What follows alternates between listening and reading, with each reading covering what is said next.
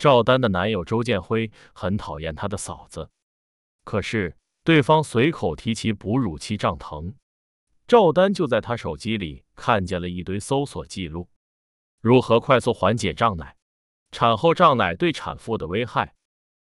红尘往事随风去，岁月如歌水流长。大家好，今天跟大家分享的是《不是月的光》。赵丹和周建辉订婚的第三天夜里。他嫂子羊水破了，他哥远在国外。夜里接到周妈妈的电话时，周建辉却只是冷声说了句“真麻烦”。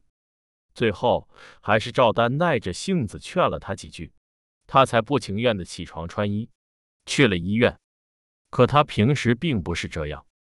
周建辉家境优渥，绅士浪漫，骨子里没有那种富二代的骄纵与傲慢，待人向来温和。唯独对他嫂子，总是冷着一张脸，谁也不知道为什么。等赵丹们到医院时，薛婉正躺在病床上，脸色惨白。宫缩来临时，他疼得紧紧闭着眼，将唇咬到泛白，也不肯哼出声。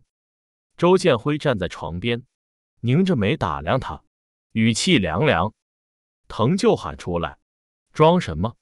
薛婉睁眼看了他一眼。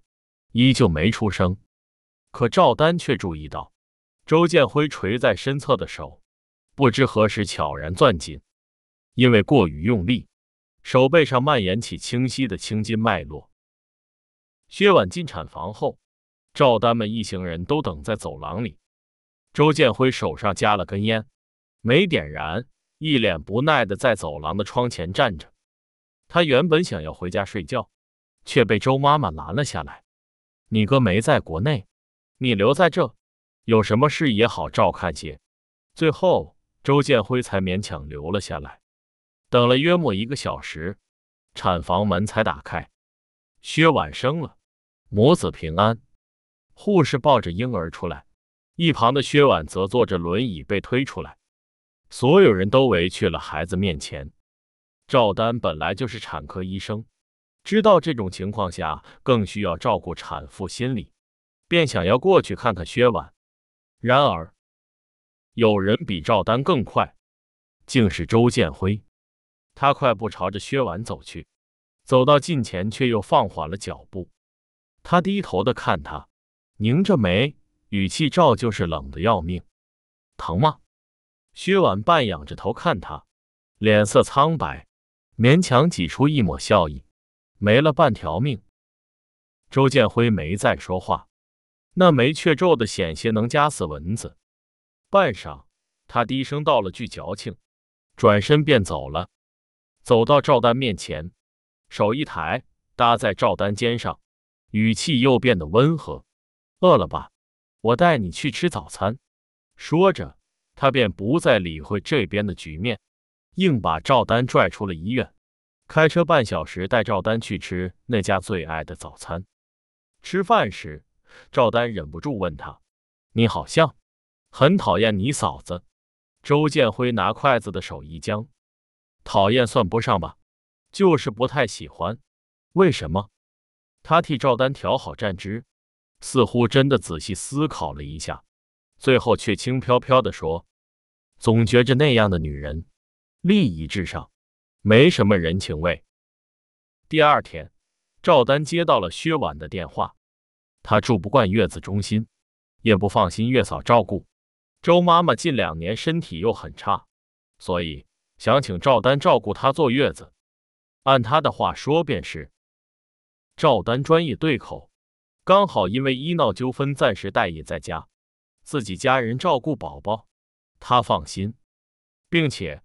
他提出给赵丹十万元的报酬，赵丹原本是想拒绝的，可向来讨厌薛婉的周建辉却反常的劝赵丹同意。他箍着赵丹的肩，再怎么也是一家人，要不你就当帮个忙吧，毕竟是我小侄子，我哥又不在，你能照顾，我也放心些。周建辉开了口，赵丹便同意了。周家住在市里著名的别墅区，上下四层的别墅。周建辉订婚前一直和周妈妈住二楼，大哥结婚时买了婚房，但他人在国外，薛婉便带着儿子暂住三楼。为了方便照顾，赵丹临时搬去了三楼的闲置房间。还好，薛婉人虽娇气些，但还算和善，事上不挑剔，宝宝也很少哭闹。赵丹这十万块钱挣得很轻松，只是之前相处久了，赵丹忽然发现周建辉似乎也没有他表现的那么讨厌薛婉，甚至他还有些关心他。饭桌上，他随口提了一嘴胀奶很疼，周建辉拧着眉斥他轻浮，当众提起这种私密事。可是晚上赵丹手机没电关机。拿他手机查东西时，意外看见了他的搜索记录。涨奶怎么办？如何快速解决胀奶问题？产后胀奶对产妇身体的影响？赵丹盯着那一连串的搜索记录，愣了很久，最后拿着手机去问他。周建辉扫了一眼，脸色没什么变化。哦，下午我哥打电话问我他情况如何，我提了一嘴。他忙着谈合同，让我帮忙查的。赵丹点开通话记录，果然有一通下午时大哥周建成打来的电话。收起手机，却发现周建辉在盯着赵丹看，眼底含笑。赵丹被他看得有些不自在。下一秒，他将赵丹箍进怀里，轻笑声落在耳畔：“痒的要命，你不会连自己家人的醋都吃吧？”我关心保姆无疑都比关心他要多。赵丹圈住他的脖颈，没说话。也许真的是自己多心了吧。今天宝宝睡得早，赵丹又困得厉害，早早便跟着睡着了。夜里，赵丹被一阵尖叫声吵醒，小婴儿也被吓醒，呜哇哭了起来。赵丹连忙抱起孩子，轻声哄着，同时踏着拖鞋出门去看。刚刚打开门，便看见一道身影跑了过去，似乎是周建辉。赵丹抱着孩子走到薛婉门口，便看见周建辉冷着一张脸，打横抱着薛婉朝外走。上来匆忙，周建辉只穿了件睡裤，上半身什么都没穿。薛婉则紧紧攀着他手臂，一脸痛苦。他穿了件睡裙。露出的手臂和左腿被烫得通红一片，赵丹还没反应过来，周建辉已经抱着他从赵丹身边走过，匆匆下了楼。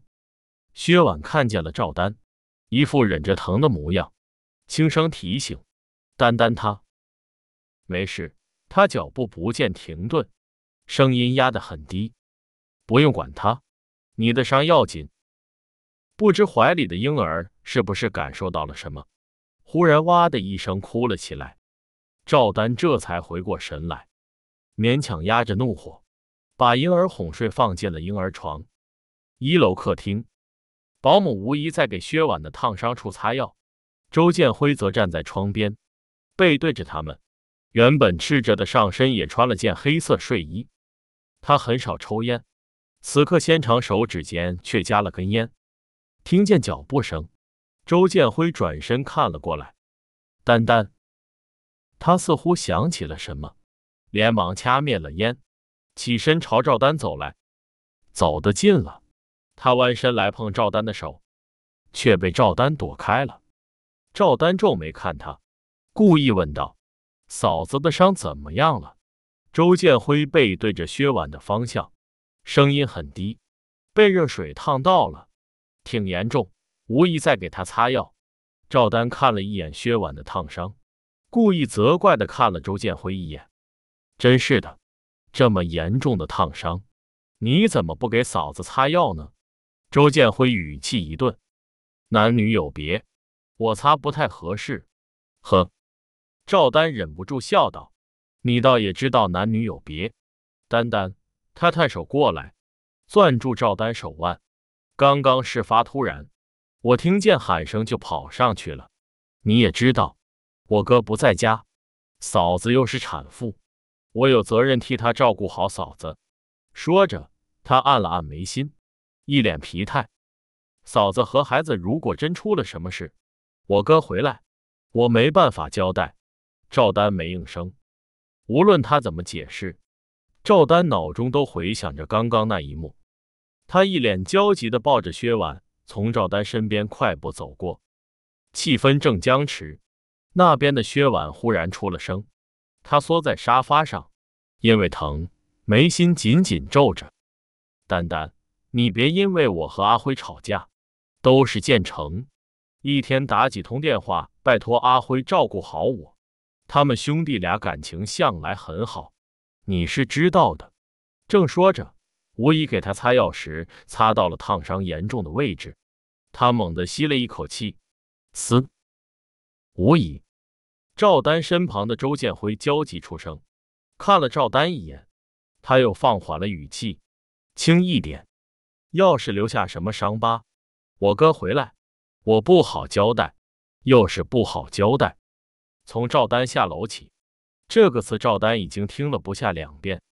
吴姨连声应着，给薛婉上药的动作格外的小心。可薛婉那边还是疼的厉害，一直死死咬着唇。隔上几秒，便吃痛出上一声。周建辉拧着眉，一副烦躁的模样，攥着赵丹手腕上了楼，回了赵丹房间。周建辉关上门，烦躁的揉了揉眉心，少见的骂了脏：“真他妈烦！”他叹，药也擦了，我也耐着性子安慰了。他还哼哼唧唧的装着矫情，要不是看在我哥的面子上。我真是懒得管这些烂摊子。见赵丹半天没出声，周建辉弯身看过来，视线同赵丹对上，他笑，又想多了。他叹了一声，语带无奈：“真希望这个月快些结束，再这么下去，我家女朋友都快成醋坛子了。”周建辉，你觉得这好笑吗？周建辉没说话，脸上笑意僵了僵。赵丹这人不太喜欢吵架，凡事喜欢掰开了揉碎了讲道理。首先，你听见喊声急着上楼，我理解，因为着急没来得及穿上衣，我也能接受。赵丹仰着头，直视着他的眼睛。但是烫伤要不是非要在一楼擦，你没必要公主抱着你的亲嫂子下楼，家里有电梯你都等不及。抱着她从三楼一口气跑了下去。还有，就算你急着她的伤，连和我说一句话的时间都没有吗？赵丹一口气说完，然后耐心的等着周建辉的解释。他掏出一根烟来，想点，又注意到了房间里的婴儿，最后作罢。丹丹，他攥着赵丹的手微微收紧。我平时有多讨厌他，你又不是不知道。他受伤，我着急，完全是因为我哥。我当时什么都没想，因为药箱在一楼，只想着带他下去让吴姨给擦药。他叹了一声，神色疲乏极了。我哥对我来说很重要，他出国前托我平时照顾他们母子俩，我必须做到，不论是嫂子还是孩子出事，我都没办法交代。他将赵丹圈进怀里，别闹了。好不好？他衣上有着淡淡的烟草味，而且你没发现我抱他时双手攥拳，全程都是绅士手吗？他语带无奈。我已经尽量避嫌了。赵丹盯着他看了半晌，终于松口。行，这次我就当是事发突然，但是以后你必须和他保持距离。他笑，放心，只要我哥回来之前。他单单分分的别出什么事，我求之不得。接下来的几天，周建辉的确刻意和嫂子保持着距离。桌上吃饭，他也几乎不会和他有什么交流。周家也雇了月嫂帮赵丹，只是不太放心对方，需要赵丹每天一同陪着。除了那次烫伤，薛婉的月子做得很好，月子餐都有专门的厨师来家里制作。宝宝有赵丹和月嫂，他只需要好好疗养身体。所以，在他月子第四周时，赵丹回家休息了一天。原本说是第二天回去，可晚上薛婉临时给赵丹发消息，说宝宝哭得厉害，月嫂怎么也哄不好，委婉的询问赵丹能不能回去一下。看在十万块钱的份上，赵丹同意了。赵丹回去时，周建辉不在。宝宝平时都很乖，赵丹抱过去哄了会，便止住了哭。估摸着他有些饿了，便抱去让薛婉喂了奶。薛婉原本是不想喂母乳的。她嫌弃会身体走样，可周妈妈不同意。对这个宝贝孙子，周妈妈格外看重，认准了母乳对宝宝好，硬是砸钱让薛婉松口，同意了母乳喂养。薛婉喂奶时，赵丹坐在一旁给宝宝叠衣服。走廊外隐约传来一阵脚步声，赵丹看了眼腕表，可能是周建辉回来了，正想着。房门忽然从外推开，周建辉的身影出现在了门口。嫂子，你……他的话说了一半，便止了话音，目光从喂奶的薛婉身上匆匆扫过，最后看向了赵丹。晚上八点，他进自己尚在坐月子的嫂子房间，竟然都没有敲门。身旁的薛婉仿佛反应慢半拍一般。这会才惊呼一声，扯起一旁的毛毯盖在了胸前。周建辉更像是反应迟缓，听见人家喊了，他才重重关上了门。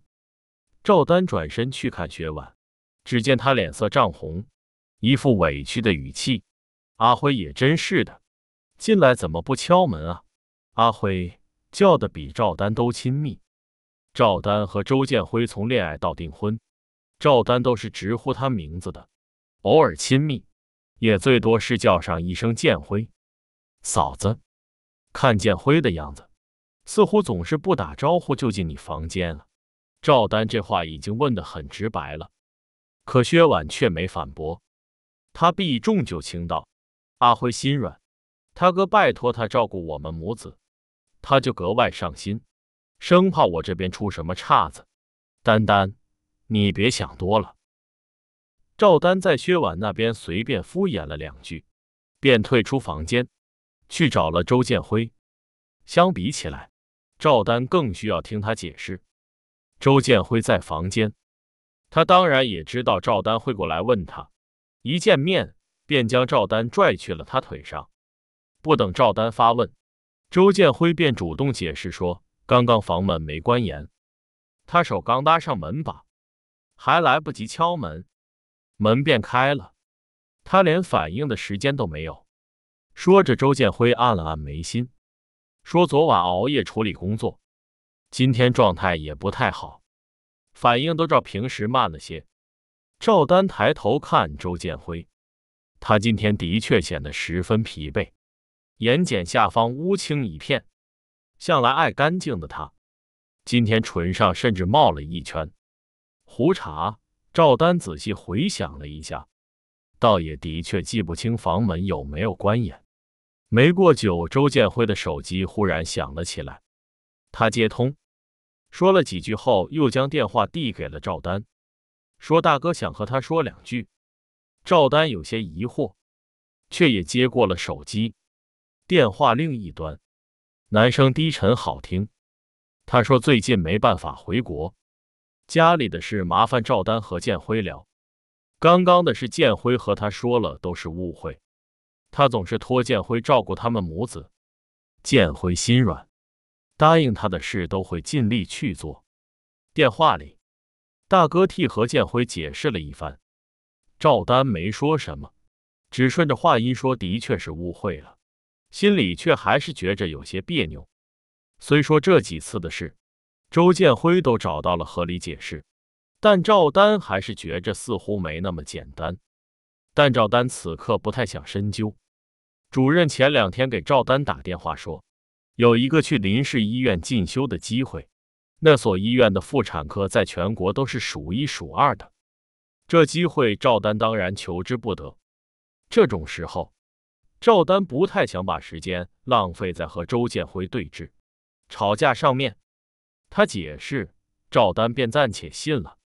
反正薛婉的月子还剩最后几天，到时赵丹拿钱走人，也懒得再管这些烂摊子。薛婉出了月子，赵丹痛快的拿钱走人，准备去林氏进修。进修的日子忙碌且充实，相比较于所谓的嫁入豪门，赵丹更希望努力提升自己。更何况，豪门哪里是那么好嫁的？薛婉一胎生了男孩，却还是被周妈妈要求五年内再生两胎，无论男女。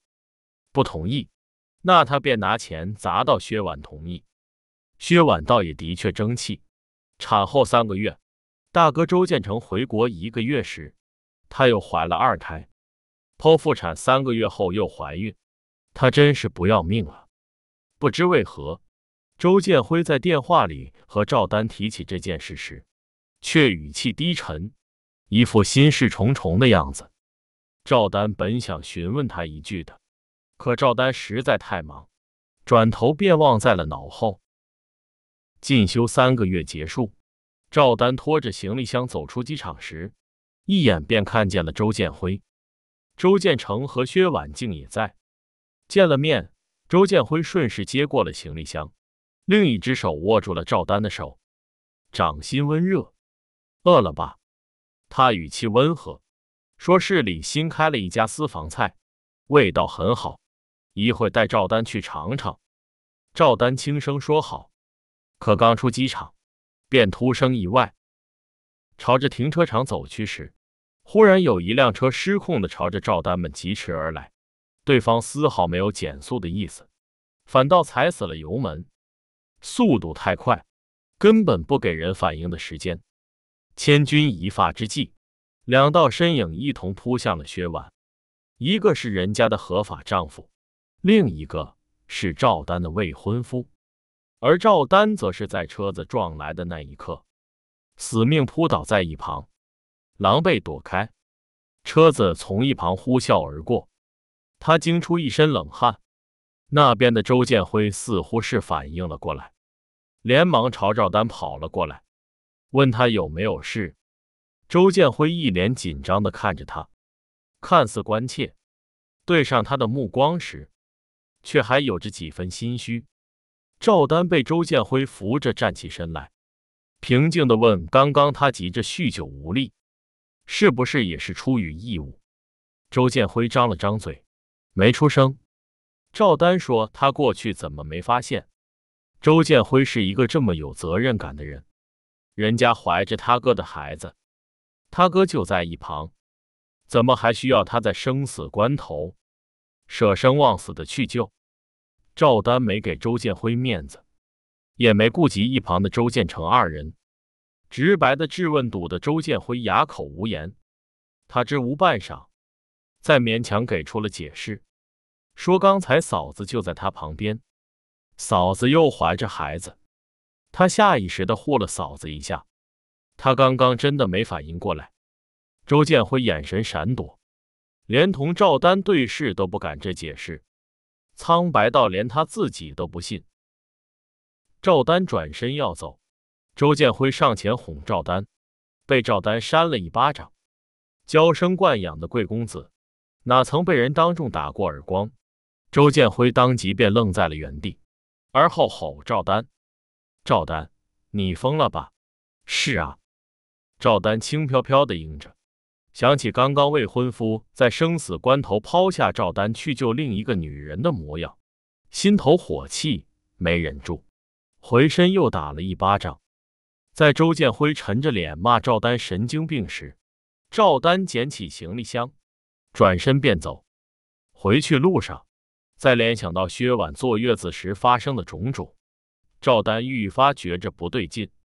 而且，赵丹记得薛婉和周建辉读的是同一所大学，当初问起，周建辉说两人上学时不是同届，更不是同专业，根本不认识，就只能算是个校友而已。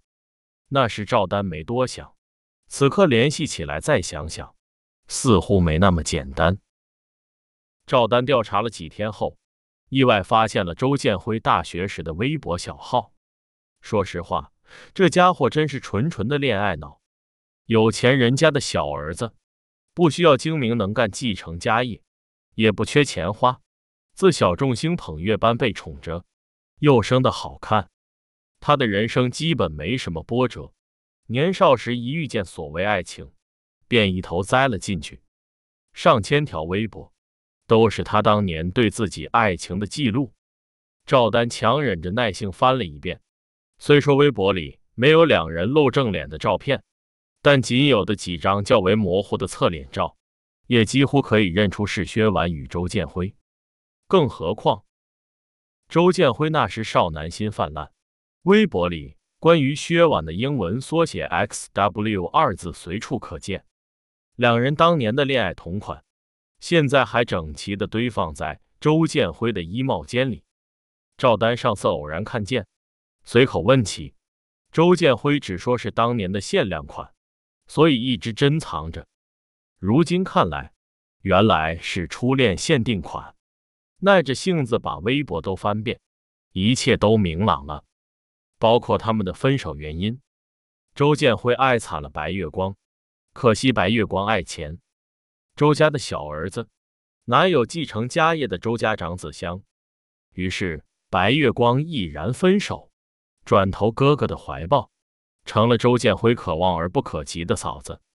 周小少爷吃够了爱情的苦，在家里对这个嫂子冷言讥讽，百般刁难，哪里是因为不喜欢，根本就是心有不甘。怪不得，明明所有人都知道他最讨厌他嫂子，可对方无意提起长奶，他还会紧张的在网上搜索了一连串。夜里听见他惊呼，他连上衣都来不及穿，便飞奔上楼，不顾未婚妻在旁看着，先抱着对方下楼擦药。生死关头，他早就把赵丹这个未婚妻忘到了脑后，一心只想护着心上人。原来如此，赵丹和周建辉提了分手，婚约取消。初闻这话，周建辉愣了几秒。回过神，他叹了一声，俯下身来攥住赵丹手腕，那目光真诚的不像话。丹丹，别闹了，那天的事我都解释过了，薛婉就只是我嫂子而已，你能不能别再无理取闹？你打了我两巴掌，我都没说什么，这件事就到此为止吧，好不好？赵丹听得有些想笑，赵丹是打了他两巴掌。可他哪里是什么都没说？那天赵丹都上了网约车，还能顺着摇下的车窗听见他愤慨的怒骂声。这段感情里，赵丹是付出过真心的，只是这真心被真相震得七零八碎。赵丹没有耐心再和他对峙，直接将截图甩给了他。周建辉，这就是你一直讨厌你嫂子的原因吗？爱而不得，因爱生恨。恨又恨的不够彻底，一到关键时刻就忍不住护着他。周建辉，你这样显得自己很可怜，也让我处于一个很可笑的尴尬位置。赵丹这算什么？给自己的情敌照顾月子，王宝钏都没赵丹惨。而且这会赵丹无比懊恼，这么屈辱的人物关系，当初一月十万真是要少了。周建辉沉默了很久。丹丹在开口时，他嗓子哑得厉害。我承认，我们大学时谈过恋爱，不和你们说，也只是担心你们会误会而已。但是，一切都过去了，她现在就是我嫂子，仅此而已。那个微博密码我都忘记了，过去的事咱们就别再提了，行吗？谁还没有一些过去了呢？赵丹点点头，也觉着他说的有道理。是啊，谁还没有点过去呢？但是周建辉那段不堪回首的感情，在你那里也没过去啊。你表面厌恶他，冷言讥讽，可他有点危险，你比谁都紧张。人家产妇长个奶，你急得恨不得把浏览器都收购了，去查个底朝天。说的生气，赵丹忍不住也按了按眉心。周建辉，赵丹深吸一口气。不愿再纠缠，别再多说了，分手吧。提了分手，赵丹转身便走。可手腕却被他攥住。赵丹，我不同意，可我也没有再询问你的意见。赵丹转过身看他，我是在通知，通知你，周建辉，我们分手了。他却还是不肯放手，左手被他攥着。赵丹蓦地举起了右手。周建辉当赵丹又要扇巴掌，手蓦地变松了，下意识的抬了下，挡在脸前。赵丹笑了笑，这次是真的转身走了。被甩的周建辉一脸悲伤，两分钟不到便开车走了。而甩人的赵丹潇洒转身，走了十分钟，却还没走完这小半条街。六月的天，这场雨来的莫名其妙，雨水避开行人，绕过衣衫，唯独淋湿了赵丹的脸。分手后。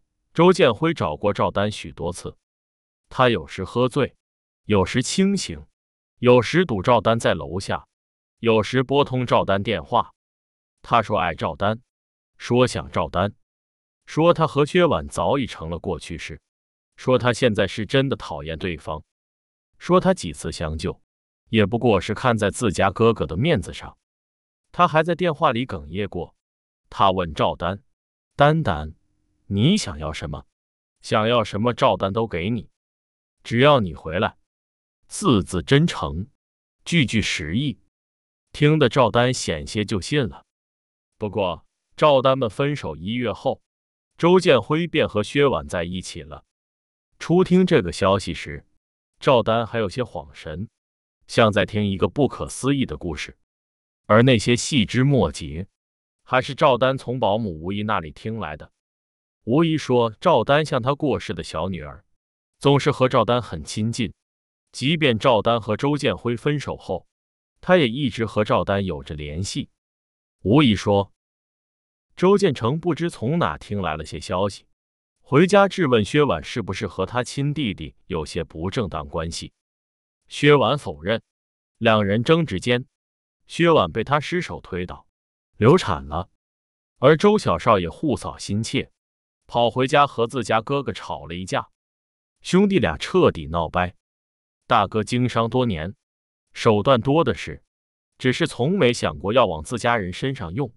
顺势查探一番，立马便顺藤摸瓜查出一件惊天往事：周建成回国前一晚，周建辉和薛婉喝醉后开了间总统套房，听说一夜的时间用光了一盒套。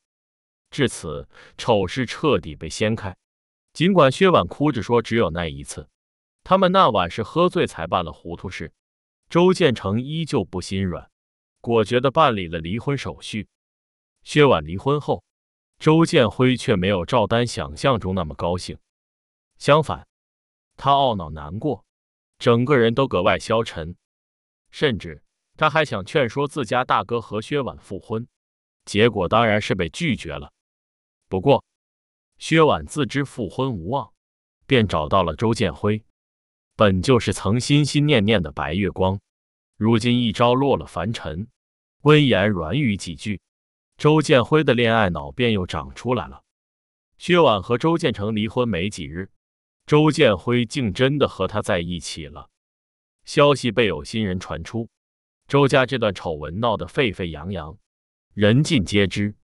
周母近两年本就身子骨弱，在家休养，自家出了这等丑事，又被对家捅到了媒体面前，一时间怒火攻心，直接气晕了过去。再醒来，身子便已虚弱到了极致。周建辉几次想要回家探望，母亲和大哥却都拒而不见，显然是被他一番举动伤透了心。赵丹本以为故事听到这里。也就算是告一段落了，渣男和心机女重归于好，圆满结局，徒留赵丹和周家大哥两个大冤种伤心又恶心。然而没想到还有后续，周家那些事被媒体扒了个底朝天，成了众人茶余饭后的谈资。赵丹有时闲了，也会在本市新闻上个翻一翻，看个热闹。薛婉从来都不是个消停的主，见事情已经闹到这种地步，薛婉知道自己与周建成复婚无望，便把心思都放在了周建辉身上。他知道周建辉心思单纯，好把控，于是他教唆对方，趁着现在周母身子垮下，去和大哥争家产。周建辉自是不同意的，却也架不住薛婉的软语蛊惑，枕边风吹了一晚又一晚，周建辉便败下阵来。从未下过商场的小少爷，化身为爱冲锋的勇士，手攥股份回公司和自家哥哥争家产。这一举动也彻底让周建成寒了心。几天后，周建成召开发布会，公开宣布周家与周建辉彻底断绝关系。为了一个曾甩了自己的女人，周建辉落得个众叛亲离的地步，也不知他后不后悔。反正已经走到了这一步，即便是后悔，他也只得咬牙忍着，硬着头皮继续朝下走。不过，事实证明，周建辉似乎是甘之如饴的，起码人家被洗脑的很成功。就在周家丑闻闹得满天飞，将他们二人双双钉在耻辱柱上时，两人雇了大批水军下场玩反转。近日，网上忽然出现很多水军，打着正义的旗号，说要解开事实真相。周家小少爷周建辉大学时有一情投意合的女友，两人很相爱。无奈自家大哥也看中了女友，仗着自己周家继承人的身份，强取豪夺，棒打鸳鸯。两人忍辱负重多年，才终于冲破枷锁。这反转来的生硬而突兀，看得赵丹直呼精彩。然而，却还真的有人相信。眼见着舆论真有些走偏的趋势，赵丹看不过眼，给周建成发了条消息。其实也没说什么，只是给他发了一些赵丹所掌握的证据，帮他一把而已。毕竟从某些意义上来讲，赵丹们俩才算是同病相怜。周建成的消息回得很快，他绅士有礼，先是道谢，后又给赵丹转了一笔钱。可是证据发去两天，周建成那边都毫无动作，等的赵丹都有些心焦，实在没忍住，发信息询问了一下，对方依旧回得很快，不急。等到舆论彻底发酵，这证据才称得上是重击。行，他本人不急，赵丹也不急，反正事情发展到这一步，早就已经和赵丹无关了。赵丹这人没什么优点，也就有一颗赤诚的心，爱时真诚相待，不爱时就认真告别。毕竟爱过一场，难过是在所难免，但哭过之后倒也能坦然接受。如今甚至还能把他的那些事当做茶余饭后的消遣。事实证明，大哥果然是大哥。整整一周的时间，他按兵不动。任由舆论发酵，任凭事态反转。一周后，周建成直接甩出一系列证据，将两人彻底锤死。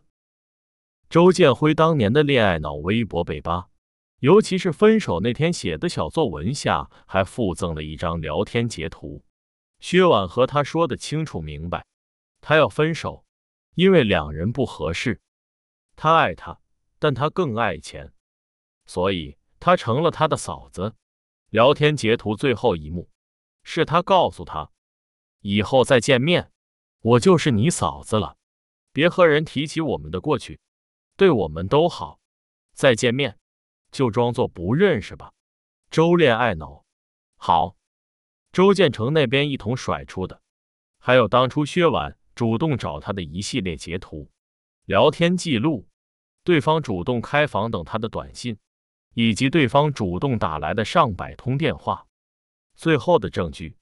最为劲爆，是周建成回国前一晚，周建辉两人的开房记录、录像截图，以及酒店床上一个用空了的小盒子。事态再反转，舆论瞬间被推至顶峰。而周建成做的还不止这些，他在商场混了多少年，手段向来是出了名的狠。哪里是周建辉这娇生惯养的小少爷能对付的？而薛婉最大的底牌，也不过是自己那引以为豪的美貌。听说周建成找人一同做了个局，没怎么费力气，便让二人信以为真，误以为自己得到了最真实的公司内部消息。在得知公司即将破产的情况下，变卖了手里的股份，成功套现。可实际上，公司根本没有什么破产风险。周建辉知道上了自家大哥的当，却也没去找他，反倒自己拿着变现的大笔资金开设了新公司。周建辉毕业名校，国外镀金，论学术知识，并不比周建成差上多少。他自信满满的开了一家新公司，大有欲与天公试比高的豪情。然而，从未经历过商场沉浮的小少爷，出师不利。新公司刚建立，便被周建成打压的抬不起头来。没几个月，新公司直接清产倒闭。薛婉心里明白，周家的门自己是别想再进。周建辉这个娇生惯养的小少爷。论容貌，论才情还行，可论起挣钱来，差的可不是一星半点，终归是靠不住的。于是，薛婉卷款跑了。以上是赵丹听到的所有有关周建辉近况的听闻，起承转折，真像是听故事一般。说来奇怪，和周建辉分手后，赵丹运气好到仿佛开了挂般。当初让赵丹头疼不已的一闹纠纷顺利解决，误会解开，患者家属还公开给赵丹道了歉，恢复赵丹名誉。进修期间，赵丹甚至还认了那所医院一名德高望重的老主任做师傅。赵丹跟着他学到很多，受益匪浅。从小到大几乎没中过奖的赵丹，今天路过彩票店，随手买了两张刮刮卡。还意外中了五百块，然而一天的好心情，在看见他家楼下那人时，瞬间湮灭。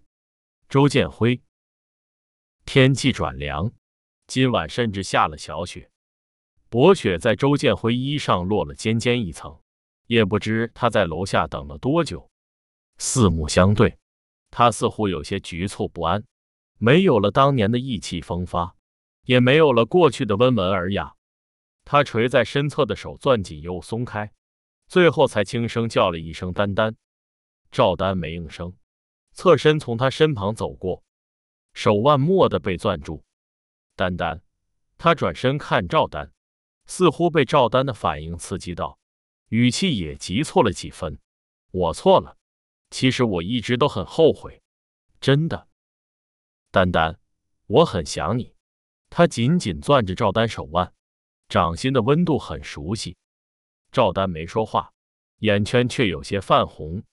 人非草木，孰能无情？曾陪他携手走过的那段时光，每一步都是真心实意的。感情也并非一朝一夕就能放得彻底。可是人非草木，因为人有理智。时隔很久，再见到他，那颗心还会悸动。见他沧桑憔悴，或许还有些心疼，可理智会让赵丹推开他的手，说一句“请自重”。周建辉的手被赵丹推开，有些无措的僵在半空。丹丹，他局促的看着赵丹，问的小心翼翼：“你能不能原谅我？”“不能。”“你谈恋爱了吗？”“没有。”他明显松了一口气。“那就好。”似乎赵丹身边没有再出现新的人，他就还有机会一般。赵丹被他这个反应逗笑，反问道：“为什么我身边没有新人，你会觉着好？我没在谈恋爱，恰恰是因为此刻来讲，我不再需要爱情了。我一个人可以生活的很好，我在认真生活，在努力工作。离开你后，我事业顺利，减肥成功。”戒掉了熬夜的坏习惯，与过去相比，我整个人状态好的不得了。这样的我，为什么偏要恋爱？周建辉怔怔的看着赵丹，似乎不知道该说些什么。赵丹忽然觉着，短短几月过去，他是真的变了。过去那个意气风发的周家小少爷，此刻更像是赵丹回忆中的一帧缩影，再也不见了。赵丹想回家，可他堵在门口不肯让。他不知说些什么话挽回赵丹，便一个劲的道歉，甚至自己扇自己的巴掌。而赵丹冷眼看着，没有阻止。赵丹只是想看看，这人还能把自己作践到什么地步。半晌，他停了动作，哽咽着懊悔，说他不该受薛婉蛊惑。那个女人没有心，谁给他钱，他便会跟谁。从周建辉口中，赵丹得知了薛婉卷款逃跑的一些细节。薛婉不只是卷走了周建辉的钱，他还跟一位外地的富商走了。更为离谱的是。那位富商是周建辉新公司的一位大客户。为了谈成那笔生意，周建辉曾几次带着薛婉请对方吃饭。不胜酒力的周建辉喝妥了十几次，都没能签下那笔订单。可他当时尚还不知，富商虽然没签他的单子，却加了他女朋友的微信。提及这些时，周建辉恨得直咬牙。红着眼说自己当初瞎了眼，赵丹点点头，应嗯，我也是。周建辉又无语凝噎，半晌，他低垂着头，轻声问赵丹：“丹丹，你能不能再给我一次机会？我一定会。”不能。赵丹打断他的话，对他后面的保证也半点不感兴趣。赵丹低头看了眼腕表，不好意思。时间到了，我要回家吃饭了。他还想再说话，却被赵丹抢了先。周建辉，你不是小孩子了，成年人走的每一步路都作数，从没有人拿刀逼着你做选择。既然是自己当初心甘情愿选的，即便是错了，也要咬牙受着。就像我当初分手一样，我自己看走了眼，在你身上耽误了几年青春。再如何难受，我都自己受着。你知道我性子的，我从不走回头路。你如果还想让我记忆中的周建辉像个男人，就别再来纠缠我了。说完，赵丹将他推开几分，侧身进门。这次他没有再拦赵丹。电梯门关时，压抑的哽咽声似乎顺着缝隙传来。赵丹怔怔了两秒，又移开了目光。